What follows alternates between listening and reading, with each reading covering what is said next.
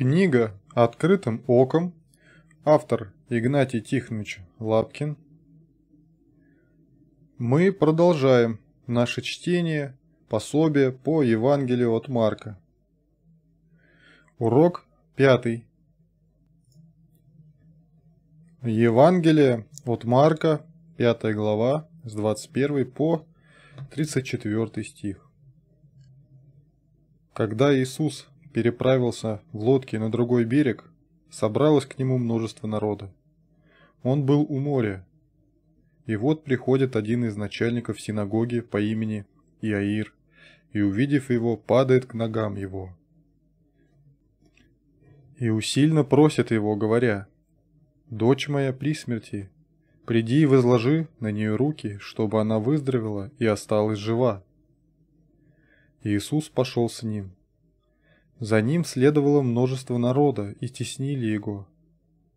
Одна женщина, которая страдала кровотечением 12 лет, много протерпела от многих врачей, истощила все, что было у ней, и не получила никакой пользы, но пришла еще в худшее состояние.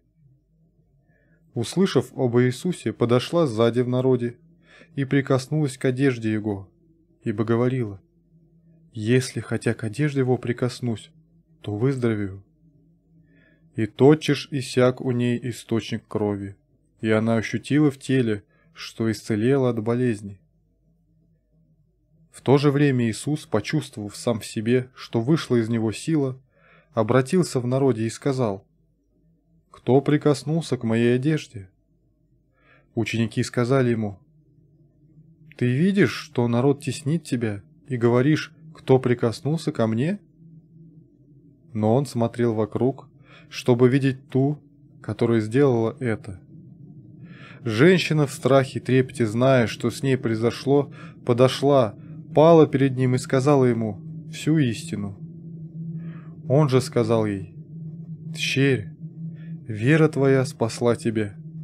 Иди в мире и будь здорова от болезни твоей». С какой жадностью должна была ловить женщина слухи об исцелениях, совершаемых Христом, пока она не решилась, возложив последнюю свою надежду на Него, прийти к Нему сама со своей нуждою и безнадежным состоянием, когда специалисты не помогли. Какая разница толпиться и прикоснуться? Почему Христос не дал уйти женщине так же незаметно, как она подошла? Вопрос. Стих 34. Он же сказал ей, «Черь, вера твоя спасла тебя. Иди в мире и будь здорова от болезни твоей». Мгновенное исцеление и мир. Не мысли о Христе и нерелигиозные чувства помогают, а личное обращение к Нему. Четыре раза говорит он, «Вера твоя спасла тебя». Что это значит? Евангелие от Луки, 7 глава, 50 стих. Он же сказал женщине, «Вера твоя спасла тебя, иди с миром». Евангелие от Луки, 8 глава, 48 стих. Он сказал ей, «Дерзай, черь, вера твоя спасла тебя, иди с миром». Евангелие от Луки, 18 глава, 42 стих. Иисус сказал ему, «Прозри, вера твоя спасла тебя». Послание Иакова, 2 глава, 17 стих так и вера, если не имеет дел, мертва сама по себе. О какой-нибудь заслуге здесь и речи нет. «Приходящего ко мне не изгоню вон». Евангелие от Иоанна, 6 глава, 37 стих. Этот стих явился якорем спасения для многих. Евангелие от Марка, 5 глава 35 по 43 стих. Когда он еще говорил сие, приходят от начальника синагоги и говорят, «Дочь твоя умерла, что еще утруждаешь учителя?» Но Иисус, услышав сии слова, тотчас говорит начальнику синагоги, «Не бойся, только веруй». И не позволил никому следовать за собой, кроме Петра, Иакова и Иоанна, брата Иакова. Приходит в дом начальника синагоги и видит смятение, и плачущих, и вопиющих громко. И, войдя, говорит им, «Что смущаетесь и плачете? Девица не умерла, но спит». И смеялись над ним. Но он, выслав всех, берет с собой отца и мать девицы и бывших с ним, и входит туда, где девица лежала. И, взяв девицу за руку, говорит ей, «Талифа куми», что значит «девица, тебе говорю, встань». И девица тотчас встала и начала ходить, ибо была лет двенадцати. И видевшие пришли великое изумление. И от строго, и он строго приказал им, чтобы никто об этом не знал, и сказал, чтобы дали ей есть. В больших синагогах нередко бывает несколько начальников или старост. Это мы читаем Деяния, 13 глава, 15 стих. После чтения закона и пророков, начальники синагоги послали сказать им, «Мужи-братья, если у вас есть слово наставления к народу, говорите». Евангелие от Луки, 13 глава, 14 стих. При этом начальник синагоги, негодуя, что Иисус исцелил в субботу, сказал народу, «Есть шесть дней, в которые должно делать, в те и приходите исцеляться, а не в день субботний». Они не принадлежали глуховенству. Удивительно, как скорбь смиряет человека. Стих 23. и усильно просит его, говоря, «Дочь моя при смерти, приди возложи на нее руки, чтобы она выздоровела и оставалась жива, и осталась жива». Вдруг приходит ошеломляющая весть для отца о кончине дочери. Христос тотчас, как бы подхватывая утопающего, говорит ему, «Не бойся, только веруй». Римлянам 4 глава 18 стих. Он сверх надежды, поверил с надеждою, через что сделался отцом многих народов, по сказанному. Так многочисленно будет семя твое. Читаем Марка 9 глава 2 стих. «И по прошествии дней шести взял Иисус Петра, Иакова, Иоанна и возвел на гору высокую, особо их одних, и преобразился перед ними». 14 глава 33 стих. И взял с собою Петра, Иакова и Иоанна и начал ужасаться и тосковать. Иеремия 9 глава 17 стих. Так говорит Господь Саваоф, подумайте и позовите плакальщиц, чтобы они пришли, пошлите за искусницами в этом деле, чтобы они пришли. Какой контраст быть у одра смерти верующей, верующей семье. 1 Фессалоникийцам 4.13 «Не хочу же оставить вас, братья, в неведении об умерших, дабы вы не скорбели, как прочие, не имеющие надежды». Евангелие от Иоанна, 11 глава, 24 стих. Марфа сказала ему, «Знаю, что воскреснет в воскресенье, в последний день». Римлянам, 8 глава, 38 стих.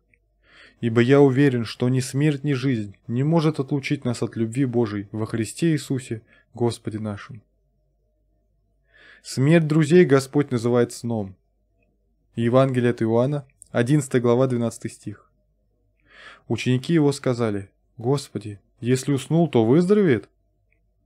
Иисус говорил о смерти его, а они думали, что он говорил о сне обыкновенном. Деяние 7 глава 60 стих.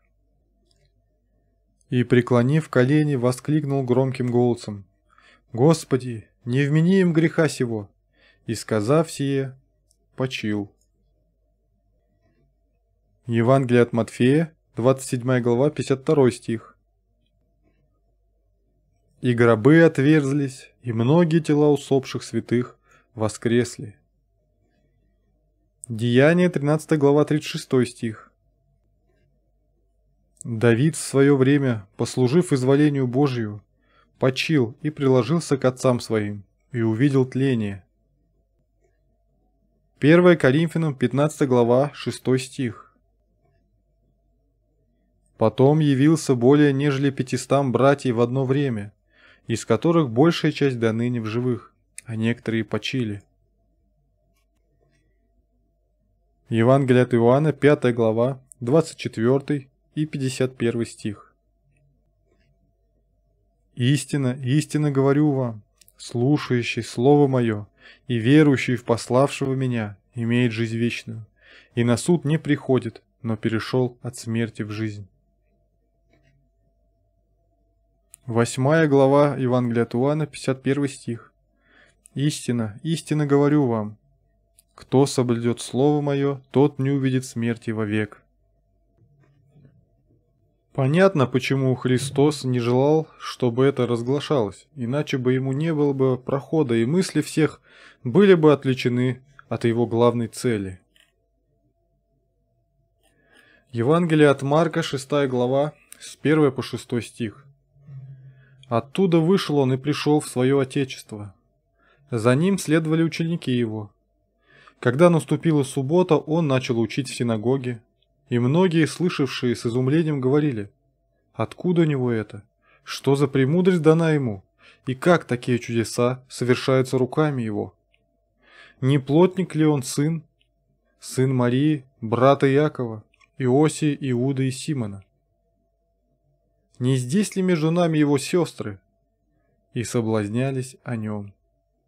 Иисус же сказал им, не бывает пророк без чести, разве только в отечестве своем, у сродников и в доме своем. И не мог совершить там никакого чуда, только на немногих больных возложив руки, исцелил их. И дивился неверию их. Потом ходил по окрестным селениям и учил. И в наши дни многие восхищаются учением Христа – но соблазняются в его божественности. Даже самый лучший христианин встретит хотя бы некоторое время отпор со стороны близких ему лиц, еще не уверовавших. Стих 4. Иисус же сказал им, «Не бывает пророк без чести, разве только в отечестве своем, у сродников и в доме своем». Евангелие от Иоанна, 7 глава, 5 стих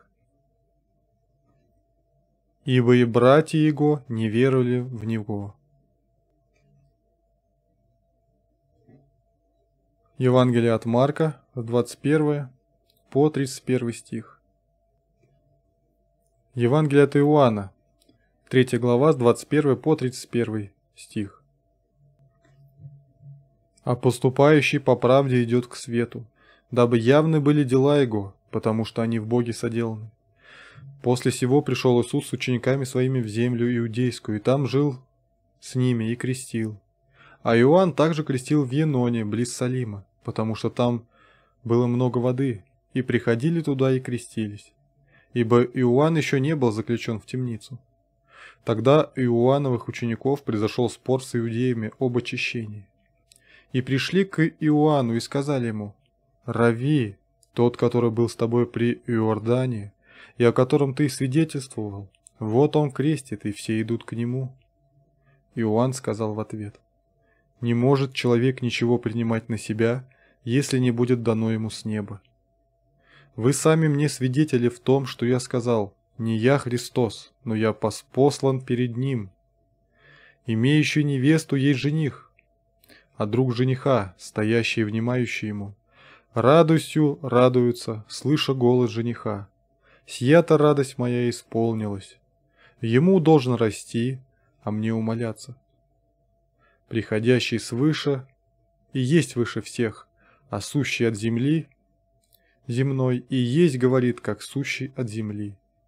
Приходящий с небес есть выше всех. Далее труднее всего. Он не мог идти против основного духовного принципа – по вере вашей да будет вам. Мы это читаем Евангелие от Матфея, 8 глава, 13 стих, 9 главе Матфея, 29 стих. Тогда он коснулся глаз их и сказал, «По вере вашей да будет вам». 15 глава Матфея, 28 стих. Тогда Иисус сказал ей в ответ, «О, женщина, велика вера твоя, да будет тебе по желанию твоему». И исцелилась дочь ее в тот час. Вера есть проводник для Божьей силы. Не мешаем ли мы Христу действовать в нас или через нас нашим неверием? Это вопрос, задайте себе. Евангелие от Марка, 16, 6 глава, 7 по 13 стих. «И, призвав двенадцать, начал посылать их по два, и дал им власть над нечистыми духами, и заповедал им ничего не брать дорогу, кроме одного посоха, ни сумы, ни хлеба, ни меди в пояс». В поясе. Но обуваться в простую обувь и не носить двух одежд. И сказал им, если где войдете в дом, Оставайтесь в нем, доколе не выйдете из того места. И если кто не примет вас и не будет слушать вас, то, выходя оттуда, отрясите прах от ног ваших во свидетельство на них. Истинно говорю вам, отраднее будет Содома и Гоморре в день суда, нежели тому городу. Они пошли и проповедовали покаяние. Изгоняли, изгоняли многих бесов и многих больных, мазали маслом и исцеляли. Божие повеление содержит в себе божественные полномочия. Мы читаем исход с 10 главой, 3 глава с 10 по 20, 12 стих. «Итак, пойдите, я пошлю тебя к фараону. Итак, пойди, я пошлю тебя к фараону, царю египетскому, и выведи из Египта народ мой, сынов Израилевых». Моисей сказал Богу, «Кто я, чтобы мне идти к фараону, царю египетскому?» И вывести из Египта сынов Израилевых. И сказал Бог, «Я буду с тобою, и вот тебе знамение, что я послал тебя. Когда ты выведешь народ мой из Египта, вы совершите служение Богу на этой горе». Мы читаем Иисуса Новина, 1 глава, 2 и 9 стих. «Моисей, раб мой, умер, и так встань, перейди через Иордан сей, ты и весь народ сей, в земле, которую я даю им, сынам Израилевым. Вот я повелеваю тебе, будь тверд и мужественен. Не страшись и не ужасайся, ибо с тобой Господь Бог твой везде, куда не пойдешь. Книга Суидей, 6 глава с 14 по 16 стих. Господь, возрев на него, сказал, «Иди с этой силою твоею и спаси Израиля от рук, от руки Мадие, Мадианитян, я посылаю тебя». Гедеон сказал ему, «Господи, как спасу я Израиля? Вот и племя мое в колене Манасиином. И самое бедное, и я в доме отца моего младший». И сказал ему Господь, «Я буду с тобою, и ты поразишь Мадианитян, как одного человека». Иеремия, 1 глава, 6 по 9 стих. А я сказал, «О Господи Боже, я не умею говорить, ибо я еще молод». Но Господь сказал мне, «Не говори я молод, ибо ко всем, кому пошлю тебя, пойдешь, и все, что повелю тебе, скажешь. Не бойся их, ибо я с тобою, чтобы избавлять тебя», — сказал Господь. И простер Господь руку свою, и коснулся уст моих, и сказал мне Господь, вот, я вложил слова мои в уста твои. 17 по 19 стих. А ты припаяшь чресла твои, и встань, и скажи им все, что я повелю тебе. Не малодушство перед ними, чтобы я не поразил тебя в глазах их. И вот, я поставил тебя ныне укрепленным городом, и железным столбом, и медную стеной на всей этой земле, против царей Иуды, против князей его, против священников его и против народа земли сей. Они будут ратовать против тебя, но не превозмогут тебя, ибо я с тобою, говорит Господь, чтобы избавлять тебя. 2 Коринфянам, 12 глава, 9 стих. Но Господь сказал мне, «Доволен для тебя благодати моей, ибо сила моя совершается в немощи. И потому я гораздо охотнее буду хвалиться своими немощами, чтобы обитала во мне сила Христова». Почему Христос посылает по два ученика вместе? Книга Екклезиаста, 4 глава, 9 по 10 стих. Двоим лучше, нежели одному, потому что у них есть доброе вознаграждение в труде их, ибо если упадет один, то другой поднимет товарища своего. Но горе одному, когда упадет, а другого нет, который поднял бы его. Не брать с собой ничего, чтобы не быть тяжелыми на подъем. Псалом 86.7 И поющие, и играющие, все источники мои в тебе. Евангелие от Луки, 22 глава, 35 стих. И сказал им, когда я послал вас без мешка, и без суммы, и без обуви, имели ли вы в чем недостаток? Они отвечали, ни в чем. Мы можем с пользой передавать другим только то, что мы сами пережили. 1 Иоанна, 1 глава, с 1 по 3 стих. О том, что было от начала, что мы слышали, что видели своими очами, что рассматривали и что осязали руки наши. О слове жизни. Ибо жизнь явилась, и мы видели и свидетельствуем, и возвещаем вам сию вечную жизнь, которая была у Отца и явилась нам. О том, что мы видели и слышали, возвещаем вам, чтобы и вы имели общение с нами, а наше общение с Отцем и Сыном Его, Иисусом Христом.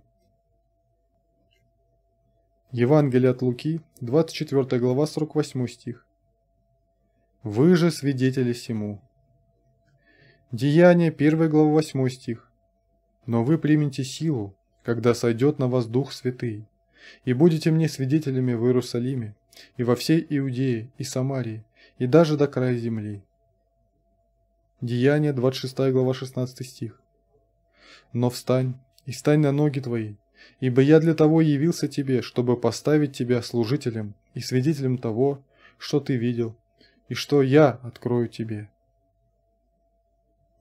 Покаяние – это не вздохи, слезы и излияние чувств, а перемена курса корабля, перемена внутреннего отношения человека к Богу и к греху, поворот кругом от греха к Богу. Понятно, что без этого никакого спасения быть не может. Иеремия, 7 глава, 24 стих. Но они не послушали и не преклонили ухо своего, и жили по внушению и упорству злого сердца своего, и стали ко мне спиною, а не лицом.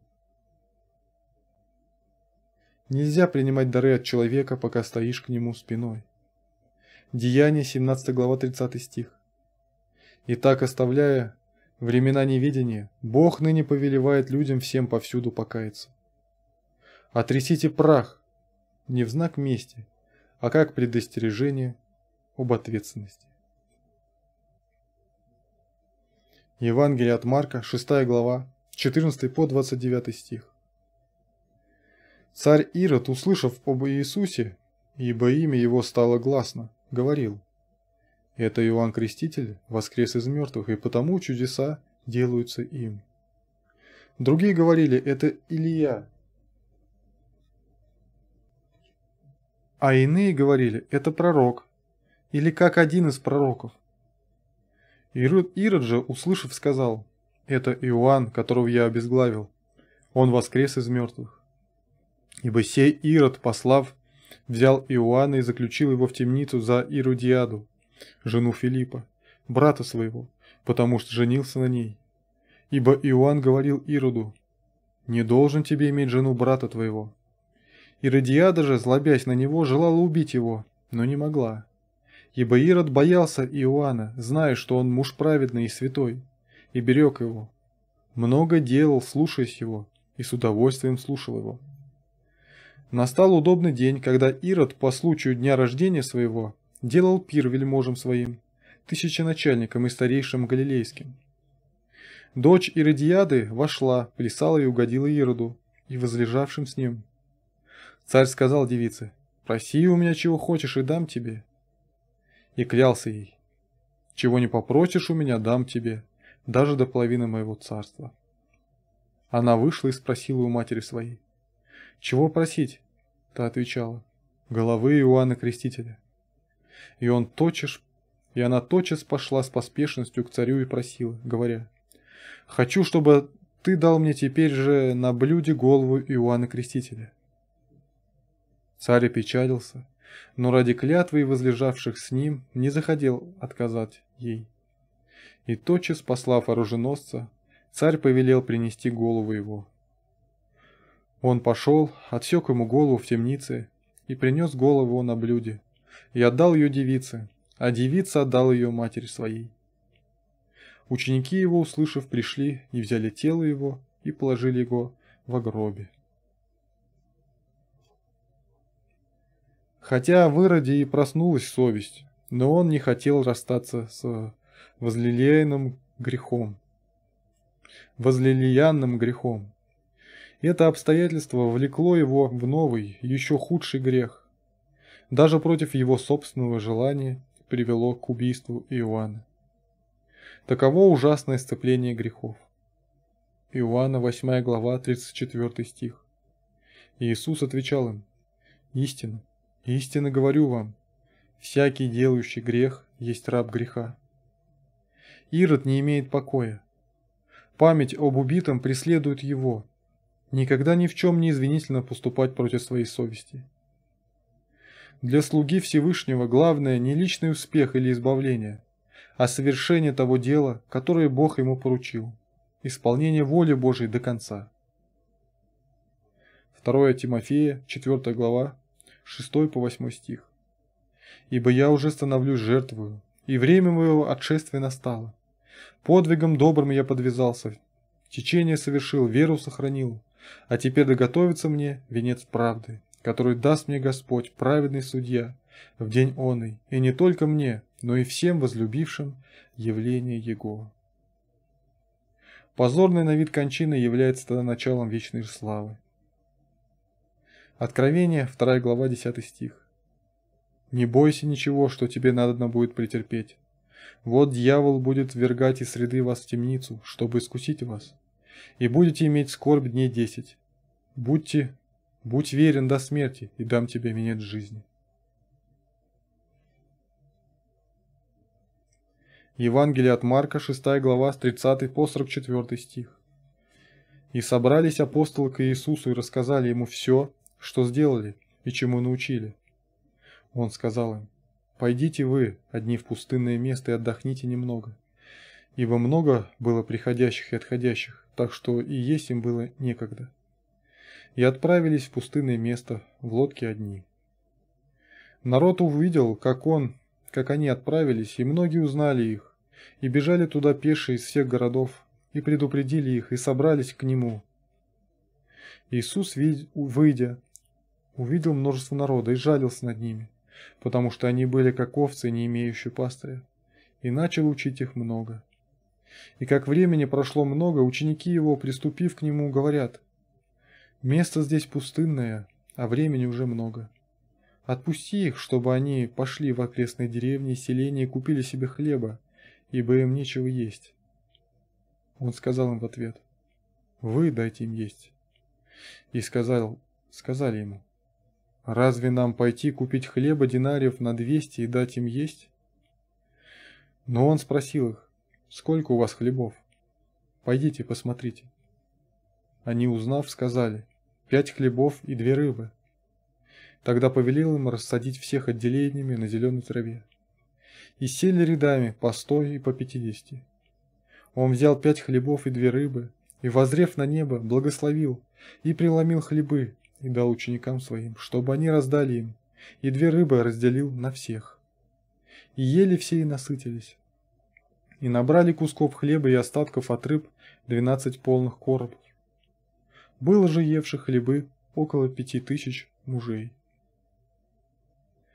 В это время Христос достиг апогея своей популярности. Под влиянием обаяния личности Христа, его речей и чудес, в народе возникает сильнейшее брожение. Он готов видеть в нем обещанного Мессию и хочет прийти, нечаянно взять его и превозгласить царем. Это мы читаем в Евангелии от Иоанна 6 главой 15 стихе. Если бы он только был человеком-реформатором, то такое народное движение прямо входило бы в его интересы. Но он знал, что его царство не от мира сего, и мессианский путь ведет сначала на Голгофу. С удивительной силой характера он с этого времени сам нарочно разрушает свою популярность парадоксальными на вид изречениями. Евангелие от Иоанна, 6 глава, 36 по 37 стих. «Но я сказал вам, что вы не видели меня и не веруете. Все, что дает мне Отец, ко мне придет, и приходящего ко мне не изгоню вон». Евангелие от Иоанна, 8 глава, с 21 по 59 стих. Опять сказал им Иисус, «Я отхожу, и будете искать меня, и умрете во, греха, во грехе вашем. Куда я иду, туда вы не можете прийти». Тут иудеи говорили, «Неужели он убьет сам себя, что говорит, куда я иду, вы не можете прийти?» Он сказал им, «Вы от нижних, я от вышних. Вы от мира сего, я не от всего мира». Потому я и сказал вам, что вы умрете во грехах ваших, ибо если не уверуете, что это я, то умрете во грехах ваших. Тогда сказали ему, кто же ты? Иисус сказал им, от начала сущий, как и говорю вам. Много имею говорить и судить о вас, но пославший меня есть истинен, и что я слышал от него, то и говорю миру. Не поняли, что он говорил им об Отце. Итак, Иисус сказал им, «Когда вознесете Сына Человеческого, тогда узнаете, что это Я, и что ничего не делаю от себя, но как научил меня Отец мой, так и говорю. Пославший меня есть со мною. Отец не оставил меня одного, ибо я всегда делаю то, что ему угодно». Когда он говорил это, многие уверовали в него. Тогда сказал Иисус к уверовавшим в него иудеям, «Если прибудете в Слове Моем, то вы истинно мои ученики» и познаете истину, и истина сделает вас свободными. Ему отвечали, мы семя Авраамова и не были рабами никогда, никому никогда. Как же ты говоришь, сделается свободными? Иисус отвечал им, истина, истинно говорю вам, всякий делающий грех есть раб греха.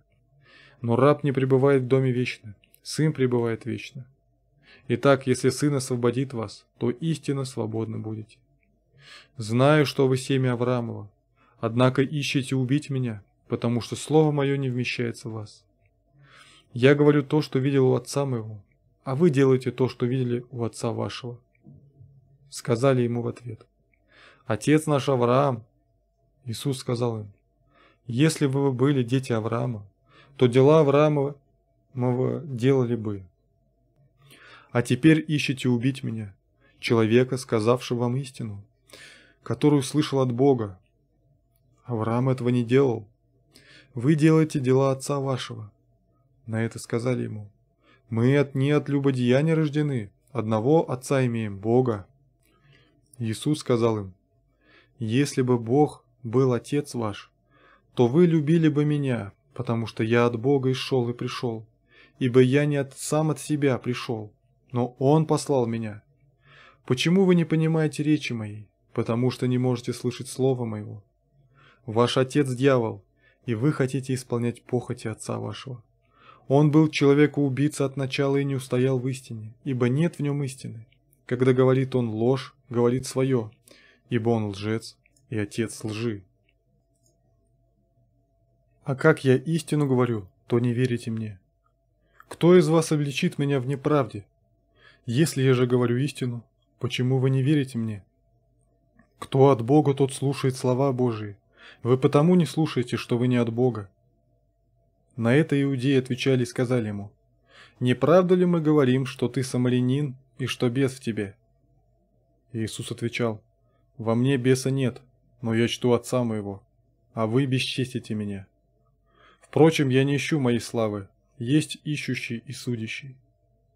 Истина, истинно говорю вам, кто соблюдет Слово Мое, тот не увидит смерти вовек.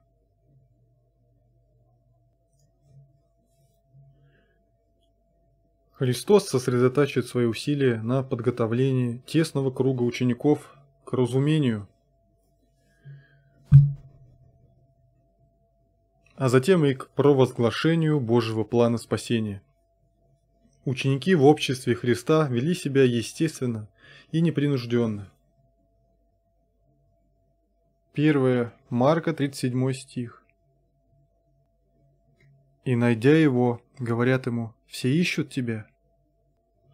4 Марка, 4 глава, 10 стих.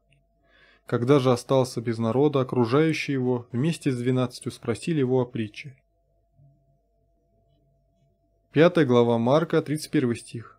Ученики сказали ему, «Ты видишь, что народ теснит тебя, и говоришь, кто прикоснулся ко мне?» 6 глава Марка, 35 стих.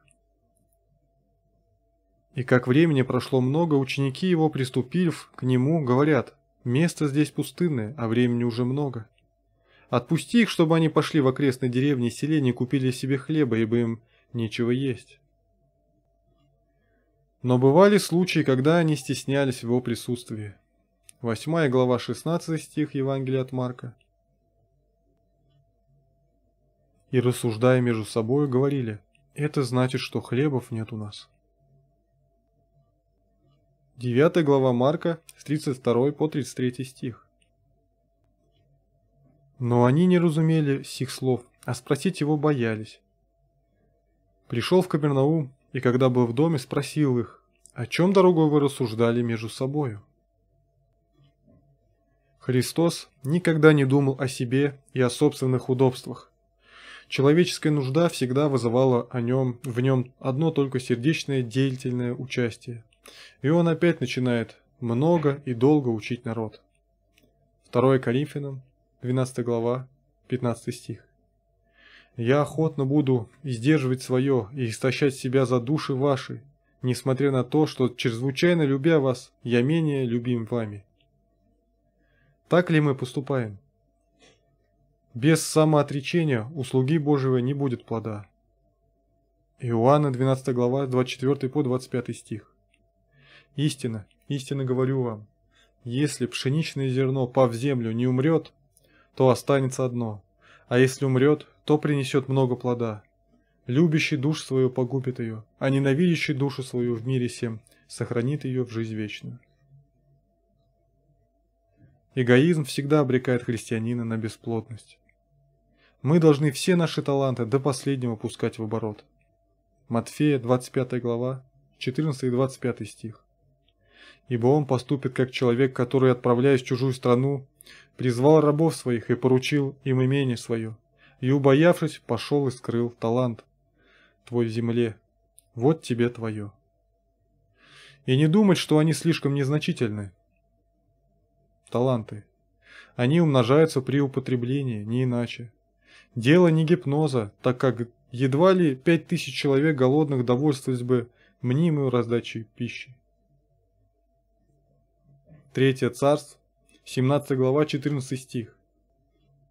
Ибо так говорит Господь Бог Израилев, мука в катке не истощится, и масло в кушине не будет до, кон до конца, и не, не убудет до того дня, когда Господь даст дождь на землю. Четвертое царство, 4 глава, 2 стих, 42 стих и 44 стих. И сказал ей Елисей, что мне сделать тебе? «Скажи мне, что есть у тебя в доме?» Она сказала, «Нет у рабы твоей ничего в доме, кроме сосуда с елеем». И сказал он, «Подайте муки». И всыпал в ее в котел и сказал, Гезию, наливай людям, пусть едят. И не стало ничего вредного в котле. Пришел некто из Валаам Шалиши, Ваал Шалиши, и принес человеку Божию хлебный начаток, двадцать ячменных хлебцов, и сырые зерна в шелухе. И сказал Елисей, отдай людям, пусть едят.